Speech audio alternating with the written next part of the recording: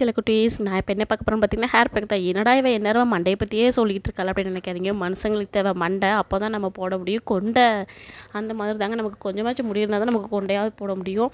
நிறைய பேர் அப்படி தான் நினைப்பாங்க. ஆனால் கொஞ்சம் இல்லைங்க. ரொம்பவே அதிக அதிகமாக நம்ம வந்து முடியை வந்து நம்மளால் வந்து வளர்த்துக்க முடியும். அது எப்படிங்கிறத நான் ஒவ்வொரு வீடியோவில் சொல்லிக்கிட்டே இருக்கேன். ஸோ என்னோடய வீடியோ பிடிச்சிச்சின்னா லைக் பண்ணுங்கள் ஷேர் பண்ணுங்கள் இப்போ வாங்க வீடியோக்குள்ளே போகலாம்.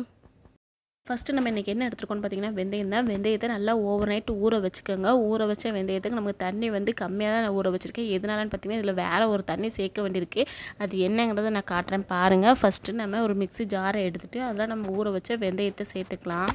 இதை பொறுத்த வரைக்கும் நம்மளுடைய மண்டை வந்து நல்லா டேண்ட்ரப் ஃப்ரீயாக ஆக்கி வச்சுருக்கோம். அது மட்டும் இல்லாமல் நம்மளோட ஸ்ப்ளிட்டன்ஸை ஃபுல்லாகவே கண்ட்ரோல் பண்ணி கொடுக்கும். நம்மளோட முடி வளர்ச்சியை வந்து வேறு லெவலில் ஆக்கி கொடுக்கும். இதில் விட்டமின் ஏ அண்ட் கே இருக்கிறதுனால நம்மளோட முடி வளர்ச்சி வந்து ரொம்ப ஸ்பீடாகவே இருக்கும். நல்ல நிறைய முடி வருங்கிறவங்க கண்டிப்பாக வெந்தயத்தை வாரத்தில் ஒரு ரெண்டு முறையாவது நீங்கள் வந்து ஹேர் பேக்கில் யூஸ் பண்ணிக்கோங்க.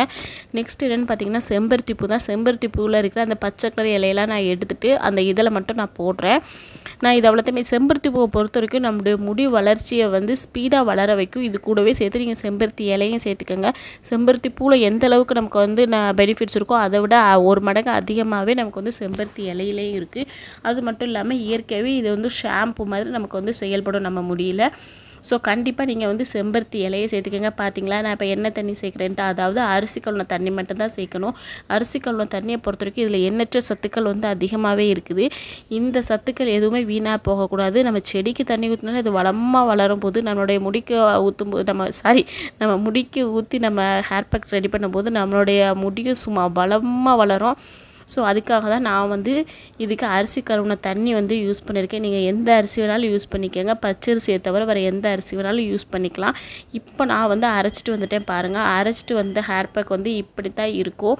இதை நீங்கள் அப்படியே நீங்கள் ஒரு பவுலில் மாற்றிக்கோங்க சூப்பராக இருக்குது பார்த்தீங்களா இது நல்ல ஸ்மூத்தாக இருக்கும். நம்ம தலையில் தேய்க்கே நல்லா இருக்கும். இதில் ஒரு இன்னொரு முக்கியமான இன்க்ரீடியன்ட் வந்து நான் சேர்ப்பேன். இப்போ பாருங்கள் நீங்கள் ஸ்கிப் பண்ணாமல் பார்த்தா தான் உங்களுக்கு புரியும்.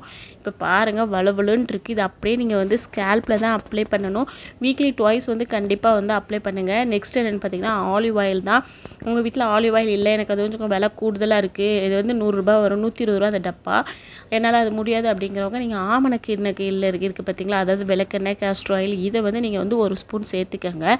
இந்த ரெண்டுமே நமக்கு வந்து பிஹெச் லெவலில் வந்து நல்லா சரிசமமாக பண்ணி கொடுக்கும். அது மட்டும் இல்லாமல் நம்மளுடைய முடி வளர்ச்சியை வந்து நல்லா தூண்டி கொடுக்கும். நம்ம தலைக்கு வந்து என்ன சுரப்பை வந்து அதிகரித்து கொடுக்கும். அதனால் நம்மளோட முடி வளர்ச்சி வந்து ரொம்ப ஸ்பீடாக இருக்கும். லாங் ஹேராகவும் நமக்கு வளரும். நெக்ஸ்ட் என்னென்னு பார்த்தீங்கன்னா இது அவ்வளோத்தையுமே நம்ம வந்து அவ்வளோ நல்லா கலக்கி விட்டுக்கோங்க. கலக்கிட்டு இதை அப்படியே நல்லா ஸ்கேல்ப்பில் படுற மாதிரி நல்லா தேய்ச்சிக்கோங்க. ஸ்கேல்ப் தான் நம்மளோட மெயின் டார்கெட் ஸோ ஸ்கேல்ப்பு ஃபுல்லாகவே கம்ப்ளீட்டாக நீங்கள் தேய்ச்சிட்டு அடுத்து நம்மளோட ஸ்ப்ரிட்டன்ஸ் இருக்கும் பார்த்தீங்களா அதுலேயும் கொஞ்சமாக அப்ளை பண்ணிக்கோங்க. ரொம்ப வந்து கெட்டியாக இருக்குது நீங்கள் ஃபீல் பண்ணிங்கன்னா. இதில் இன்னும் கொஞ்சம் அரிசி கழுவுன தண்ணியை வந்து சேர்த்துக்கோங்க. அரிசி கழுவுன தண்ணி சேர்க்கும்போது இது கொஞ்சம் இன்னும் கொஞ்சம் இலக்கமாக இருக்கும். ஸோ நீங்கள் அதையும் தேய்ச்சிக்கலாம் சேர்த்துக்கலாம். தே அது அவ்வளோத்தையுமே சேர்த்துட்டு நல்லா தேய்ச்சி கொடுத்துருங்க. தேய்ச்சிட்டு நல்லா டுவெண்ட்டி மினிட்ஸ் ஊற வச்சுட்டு குளிச்சிங்கன்னா உங்களுடைய முடி சூப்பராக இருக்கும். வீடியோ பிடிச்சிட்டுனா லைக் பண்ணுங்கள்